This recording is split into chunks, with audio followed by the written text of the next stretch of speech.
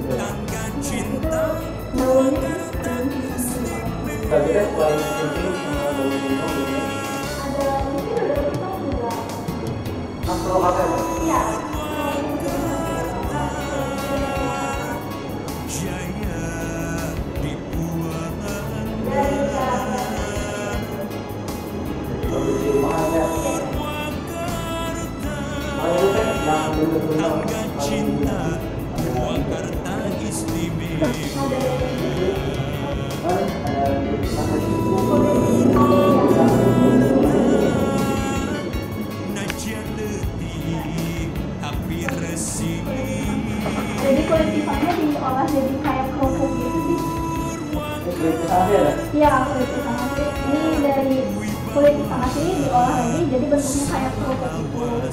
Hmm. Hasilnya kerupuk aja Iya. Ini dari pria asli terus Pria asli. Berarti home industry juga ya Teh? Iya.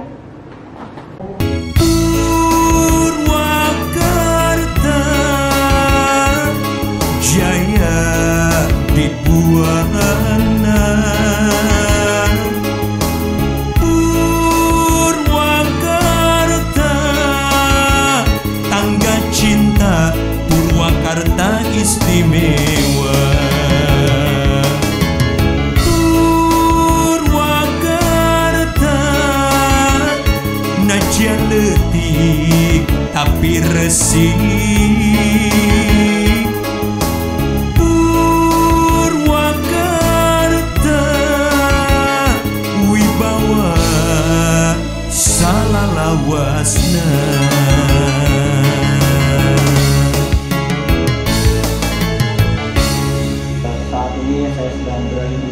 Menong terbaru yang kedua yaitu berada di se- sekitaran kompleks Pemda Purwakarta di mana di tempat sini tersedia aneka macam kuliner khas Purwakarta dan juga aneka souvenir lainnya dan khas Purwakarta tentunya. Kemudian di sini kita lihat kuliner yang benar-benar khas Purwakarta yang banyak orang sudah tahu itu simping. Sini karena home industry pemirsa jadi sudah dikemas sedemikian rupa agar benar-benar mirip dengan oleh-oleh khas Purwakarta lainnya. Kemudian ada lagi ini kicimpring. Ah, orang sudah tahu namanya, sudah terkenal kicimpring. Di sini terbuat eh, dari kecamatan Kiara Pedes. Itu benar-benar home industry dan asli Purwakarta. Mulai ada label ini jajanan warisan Karukun. Berarti sini sudah turun temurun di Cimpring ini sudah merupakan eh, khasnya Purwakarta barangkali ya, terutama Kiara Pedes. Kemudian ada kue cipir. Ini bungkusnya unik ya, dalamnya juga terlihat dari contohnya kue cipir ini khas Purwakarta dari eh, nggak disebutkan ini kecamatan mana yang pasti produk Purwakarta karena sudah berlabel ya Pemda Kabupaten Purwakarta berarti produk murni milik Purwakarta. Ya pemirsa saking banyaknya di sini ya sampai bingung. Banyak sekali cemilan untuk dinikmati misalnya untuk oleh-oleh dari Purwakarta. Dan sini ada yang unik itu keripik singkong dengan nama Cijanggot namanya unik ya tapi ini keripik singkong eh, dengan label nikmat sensasinya keripik Cijanggot sekali coba pasti ketagihan dan rasa barbecue ini ini murni dari Cibatu Purwakarta yang tertera di sini. Murni dari industry di Cibatu. Nah ini yang bikin unik dari Purwakarta. Kalau orang sudah terkenal dengan dodol Garut Di Purwakarta beda namanya Ini dodol Purwakarta. Kemudian berbahan dasar pisang. Jadi dodolnya ini terbuat dari pisang ya. Ini dari Kecamatan Darandan Kabupaten Purwakarta. Murni 100% produk Purwakarta Home Industry dari tangan-tangan orang Purwakarta dan pastinya ini kalau dinikmati tuh mantap pokoknya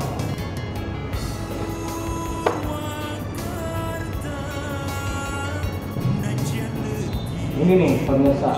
Ada yang serupa tapi tak sama. Itu kalau di kampung ada Cimahi namanya dendeng kulit singkong. Di Purwakarta di Purwakarta dendeng daun singkong. Berarti ini dari daun singkong murni. Ini khas Purwakarta. Kita belum tahu rasanya seperti apa yang pasti jelas enak ini. Produksi incu abah incu abah ya. Murni Purwakarta punya nah ini pemirsa. Orang-orang sudah mengenalnya gula cikeris asli Purwakarta. Ini dari Kecamatan Bojong Kabupaten Purwakarta. Ini asli Purwakarta ya. Benar-benar eh, murni buatan tangan-tangan orang Purwakarta. Gula cikeris kemudian ini ada yang aneh dari namanya. Kerupuk kulit pisang atau kulpis di Afnan kulit pisang ya asing terdengar bagi kita mungkin. Tapi ini benar-benar ada nyatanya. Itu kerupuk kulit pisang teksturnya ya seperti kerupuk. Asli dari Purwakarta tidak disebutkan kecamatan mana. Yang jelas ini murni asli Purwakarta kerupuk kulit pisang nah ini pemirsa yang membuat mata kita langsung tertuju karena warna-warninya yang membuat seolah-olah ada yang beda di sini itu namanya ranginang alit ya, ranginang namun kecil. Kalau di Sukabumi namanya rangining. Di Purwakarta ini ranginang alit campernik ini yang membuat unik itu warna-warninya ini. Ini pemirsa ya. Di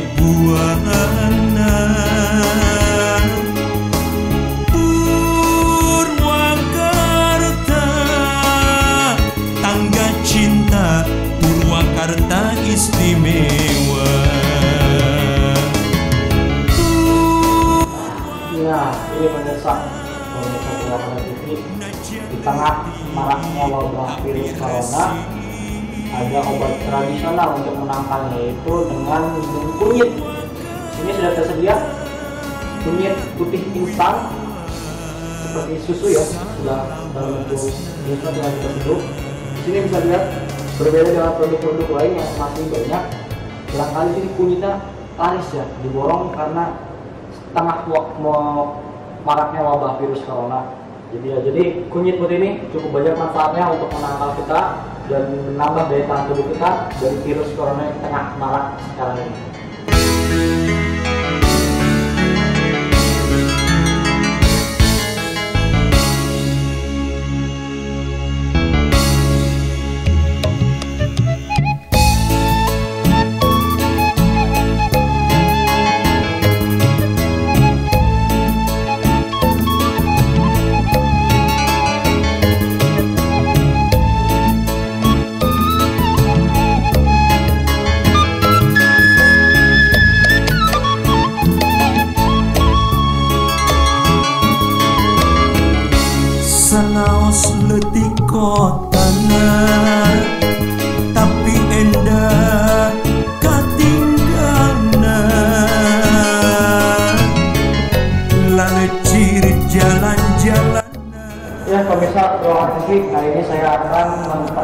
memperkenalkan batik khas Purwakarta.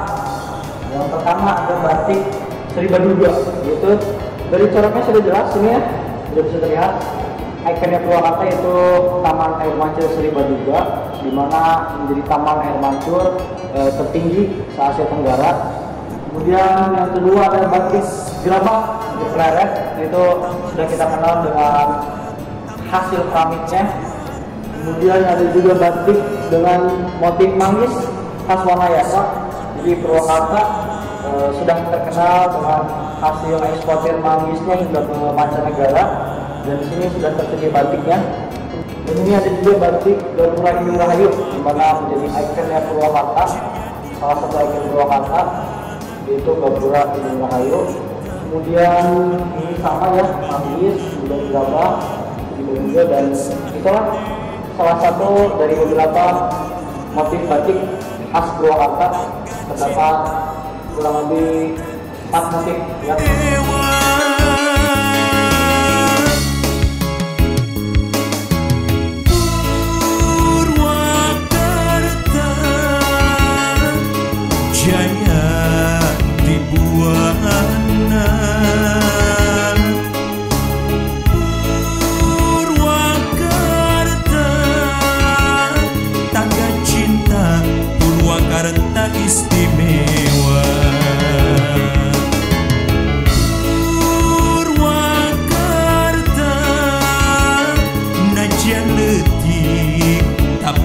sim